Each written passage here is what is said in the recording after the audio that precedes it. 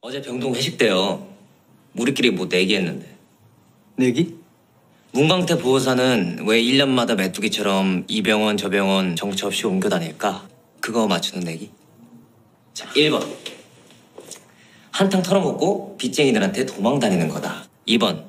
뭔가 큰 사고를 쳤는데 수사망을 피해서 위장 취업을 하는 거다. 3번. 가는 병원마다 환자 간호사 안 가리고 꼬셔대다가 풍기물란으로 쫓겨나는 거다. 넌 뭐에 걸었는데? 음, 저는 3번 여자. 자, 정답은 4번. 아빠, 아빠, 아빠. 남자. 아, 아, 선배. 아, 아이고.